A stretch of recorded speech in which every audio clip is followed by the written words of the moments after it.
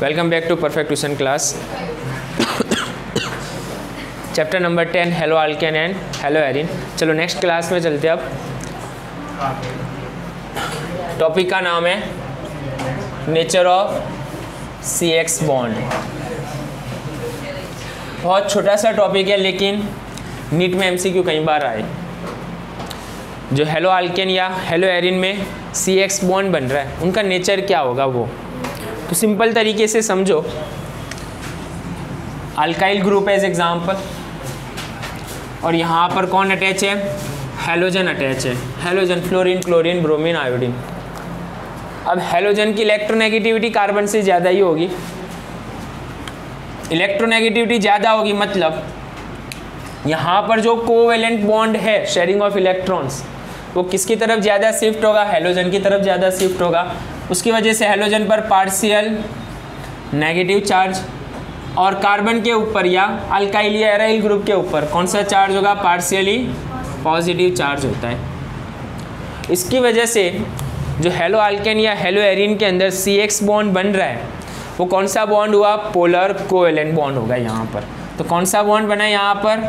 It is a polar covalent bond है तो polar covalent bond किसकी वजह से बना? इलेक्ट्रोनेगेटिविटी डिफरेंस की वजह से बन रहा है। चलो अब इसी से रिलेटेड कुछ एग्जांपल ले लेते हैं हम। फ़र्स्ट बॉन्ड लेंथ पढ़ते हैं। चलो बॉन्ड लेंथ के अंदर हेलोजन में फ्लोरीन क्लोरीन ब्रोमीन सब हो सकते हैं। तो एज एग्जांपल मान लो सी एक्स फ्लोरिन ले लेते हैं। Then carbon and fluorine then chlorine bromine and iodine. किसकी बॉन्ड लेंथ ज़्यादा होगी? बॉन्ड लेंथ किसमें ज़्यादा होगी? तो सिंपल सा समझ सकते हैं हम कि क्लोरीन एटम है मान लो ये, और फ्लोरीन एटम की साइज़ तो स्मॉल है। तो फ्लोरीन क्या होगा? स्मॉल साइज़ में होगा। तो यहाँ पर जो बॉन्ड लेंथ बन रही है इतनी होगी एज एग्ज़ाम्पल चलो कार्बन तो वही साइज़ है, लेकिन क्लोरीन की साइज़ अब क्या होगी? एटॉमिक रेडियस बढ़ेगा क्लोरीन का ओके तो यहाँ पर क्लोरीन की एटॉमिक रेडियस बढ़ रही है तो यहाँ पर जो बॉन्ड लेंथ मिलेगी उससे थोड़ी ज़्यादा होगी। नेक्स्ट उसके बाद कार्बन यहाँ पर है ब्रोमीन उसके एटॉमिक रेडियस तो और ज़्यादा है। तो यहाँ पर एटॉमिक रेडियस क्या होगी? और ज़्यादा। And then carbon and iodine और आयोडीन सबसे बड़ा है यहाँ पर तो क्या होगा? एटॉमिक रेडियस आयोडीन की ज़्यादा। तो कौन सा ऑर्डर मिलेगा हमें? बॉन्ड लेंथ यहाँ पर। तो सिंपल सी चीज़ है।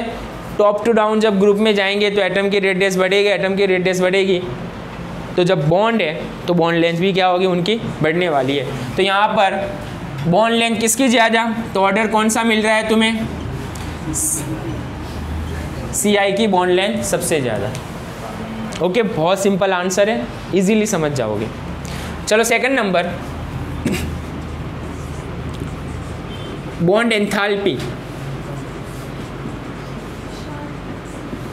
bond enthalpy या बॉन्ड डिसोसिएशन एनर्जी ओके चलो, कौन सा बॉन्ड आसानी से टूट जाएगा और कौन सा बॉन्ड ब्रेक होने में एनर्जी ज़्यादा चाहिए? किसमें बॉन्ड एंथैल्पी ज़्यादा होगी?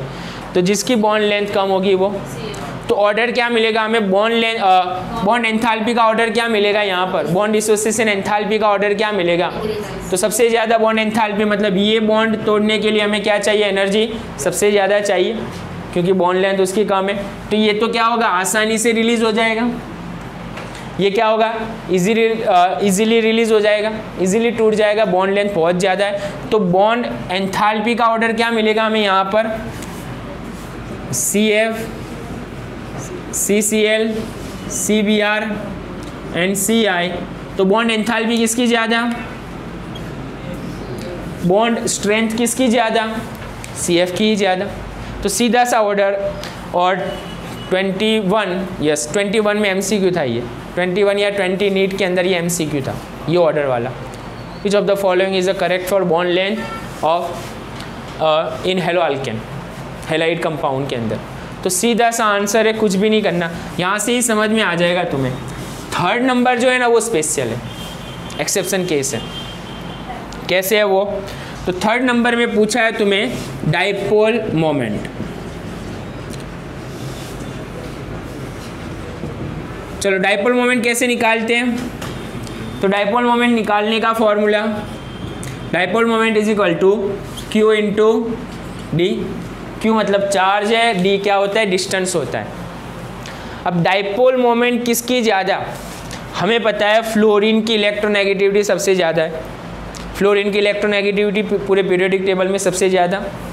फिर भी यहाँ पर डाइपोल मोमेंट किसकी ज़्यादा आ रही है? सी सी एल की आ रही है ज़्यादा। समझना? बहुत इंपॉर्टेंट एम सी क्यू है ये, क्योंकि एक्सेप्शन केस है इसे स्टार कर रहा हूँ मैं।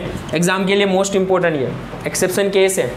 तो चलो फ़र्स्ट डाइपोल मोमेंट सबसे ज़्यादा किसकी आ रही है? यहाँ पर सी सी एल की डाइपोल मोमेंट सबसे ज़्यादा आ रही है। नेक्स्ट उसके बाद फ्लोरिन आ रहा है। बहुत ज़्यादा डिफरेंस नहीं है।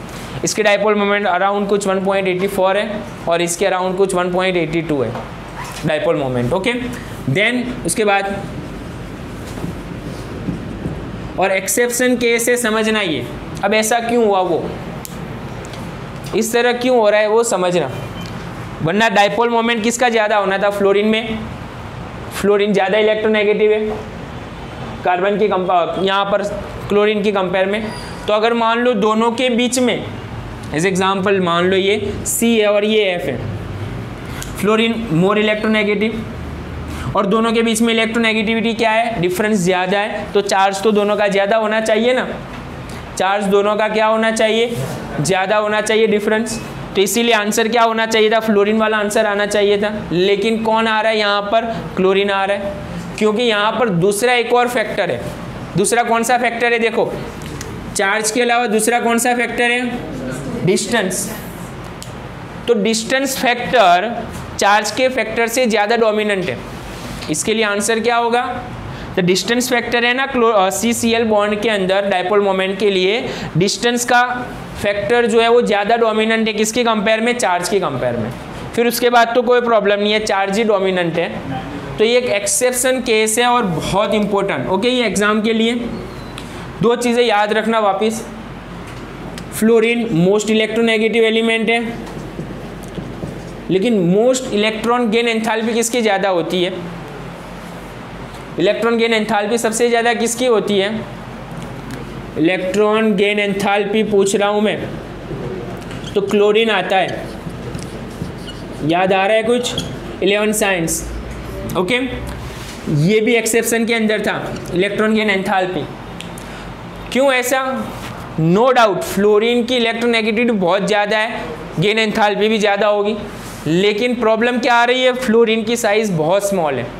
अब बहुत स्मॉल होने की वजह से इलेक्ट्रॉन की डेंसिटी क्या है? वहाँ पर ज़्यादा है और रिपल्सन होने की वजह से इलेक्ट्रॉन गेन एंथैल्पी क्या हो जाती है? उसकी कम हो जाती है। तो यहाँ पर क्लोरीन क्यों आंसर आ रहा है? वो भी समझना हो कि एक एक्सेप्शन और केस ले रहा हूँ मैं। अलग से क्वेश्चन है ये।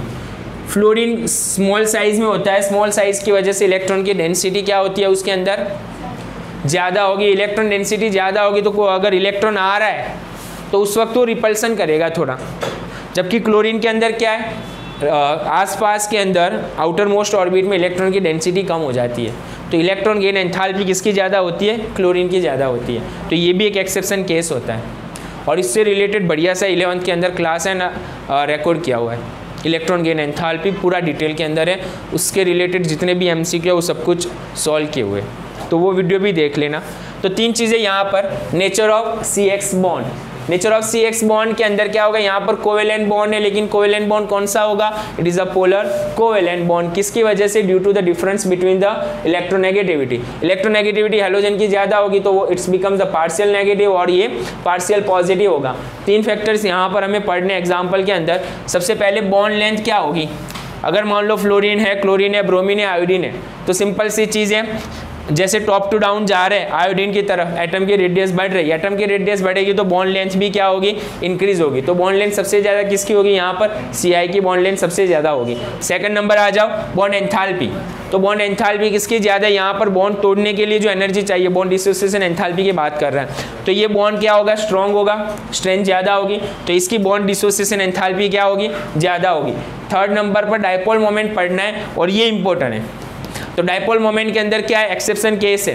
पहले कौन आ रहा है? सी सी एल आ रहा है। इसका डायपोल मोमेंट सी एफ़ से थोड़ा ज़्यादा है। और रीज़न क्या है? यहाँ पर तो डायपोल मोमेंट निकालने का जो फॉर्मूला है तो सी एल के अंदर डिस्टेंस वाला फॉर्मूला डोमिनेंट फैक्टर होता है कंपेयर टू चार्ज इसकी वजह से यहाँ पर क्या हो रहा है? इसकी डायपोल मोमेंट सी एफ़ से थोड़ी ज़्यादा होती है। और एक एक्स्ट्रा पॉइंट है ये तो इलेक्ट्रॉन गेन एंथैल्पी में कौन ऊपर है? क्लोरीन सबसे, पूरे पीरियोडिक टेबल में इलेक्ट्रॉन गेन एंथैल्पी सबसे ज़्यादा किसकी है? क्लोरीन की होती है। और मोस्ट इलेक्ट्रोनेगेटिव एलिमेंट कौन है? पूरे पीरियोडिक टेबल में फ्लोरिन होते हैं। तो ये था nature of C X bond